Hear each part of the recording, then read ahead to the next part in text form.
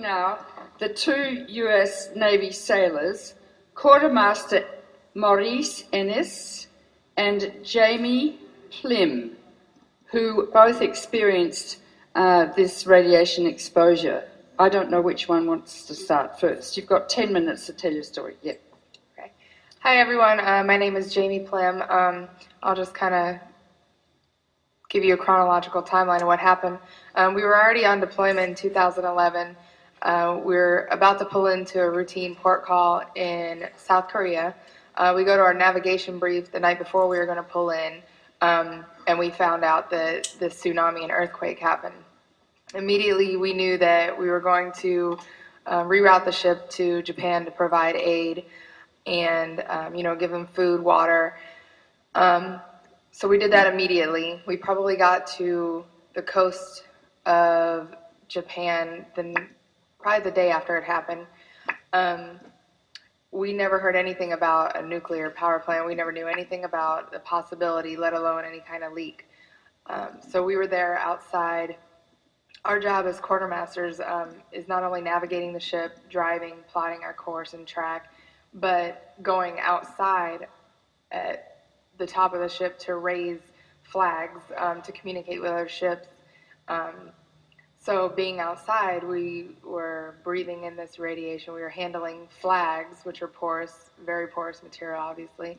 Um, the ropes that we use to haul the flags up are polyester. So again, a very um, porous material that just absorbed the radiation. Um, we didn't really hear anything for probably a couple weeks after about um, a leak in the uh, power plants, um, and even then it was just still considered kind of a rumor. We the ship didn't really even go on lockdown, which I mean by that like no one was allowed outside, um, probably until about a month and a half after um, the initial the, the 11th, March 11th. So um, we were outside breathing this in, handling stuff, handling materials, and just absorbing the radiation. Um, I'll let Maurice talk about his um, medical issues that he's encountered, but I'll talk about mine. Um, we didn't finish that deployment until October 2011, so we carried on with our deployment. Um, about halfway through, probably around the summertime, my menstrual cycle just disappeared completely.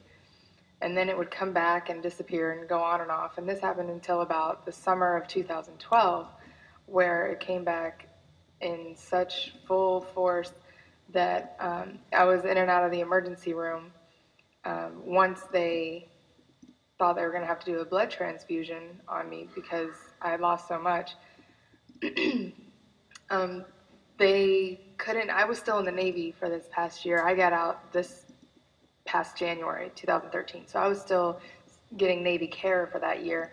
Um, they I was already on the birth control pill, which I guess they would they would do to control that kind of uh, menstrual cycle. So the only thing that they could do is say um, this is called dysfunctional uterine bleeding, and um, we can give you an IUD with hormones in it. And so now that's what I have. Um, it hasn't really stopped it. I still have this issue, and um, now I have to pay for the the medical costs of that. In addition to that, in February 2012, I developed bronchitis, um, and then from February to the summer of 2012, I got it six times.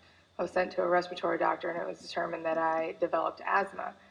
So, a lot of people um, don't understand that once you get out of the Navy, you don't get any health care at all. Um, if you retire and you stay in 20 years, you get health care.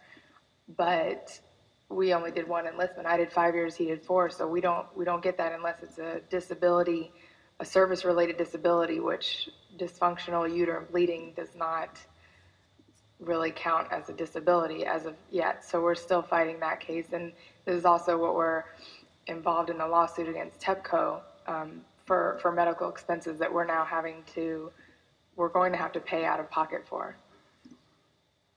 I'll uh, I'll, I'll speed it up because I know I don't have much time. I'll start with uh, the beginning of my story where I received irradiation.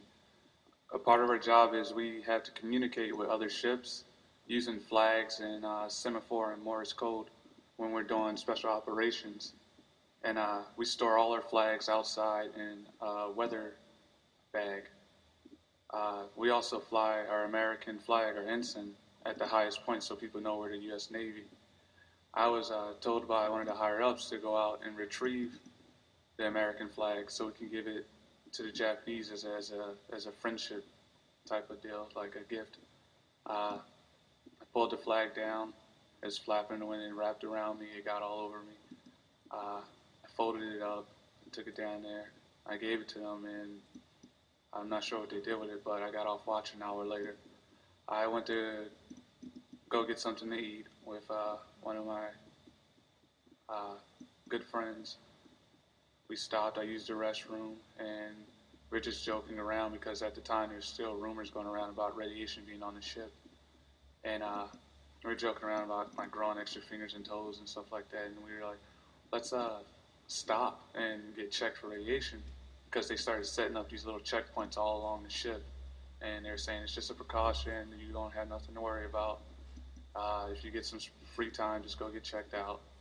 And we are joking and laughing, walking over there, and he gets checked first, and nothing happens. He gets his hands checked, and nothing happens, and he's like smirking, like I, I told you, this is a waste of time.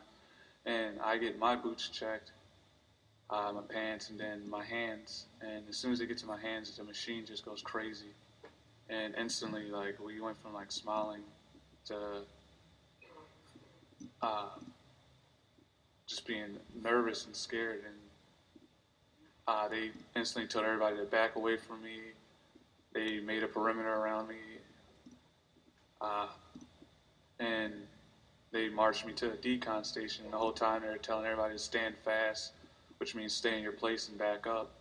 And everybody's just looking and freaking out. And uh, I had to hold my hands up and I had bags on them and they were telling everybody contaminated still everybody just get back get back and we make it to the decon station and i see there's a huge pile of clothes there from other sailors. And i go in and they had to remove three layers of skin off my hands and arms. And it wasn't like back to back it was they would scrub off one layer and then i would have to wash off. This orange grit stuff that you use to get off paint and oil. And then they would do it over again and then check. And we'd start the process all over. So in my head, I was just kind of praying that the machine would stop beeping so I could get it over with. Like, and nobody told me at the time like what was going on. Everybody just kind of told me just to stand there and be quiet and not to touch anybody or anything. It was almost like I had to play. And uh, finally, it, the machine stopped beeping and they let me go back to my berthing. And that's when I got to my berthing. They called and asked me to come up on watch to relieve the people on watch, and they told me that I had received the highest amount of radiation out of anybody on the ship. And then later we found out that our work area, since it was outside, had the highest readings for radiation because of all our flags and all our line that we used to haul up stuff. And uh, they cut off all the area to the rest of the ship. Or you've got a few symptoms? Uh, like two months after, a uh, lump appeared on my jaw, and uh, I went and got that looked at by the Navy medical, and they told me that there was uh, nothing they could do about it while we're out to sea. That we'd have to wait for us to pull in, and uh, another lump appeared between my eyes.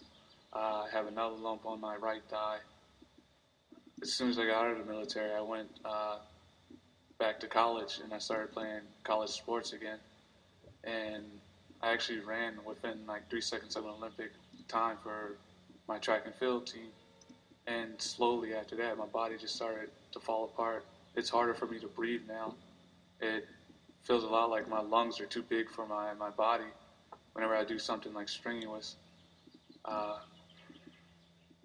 I lost a lot of weight from uh, the time I was in the Navy until now.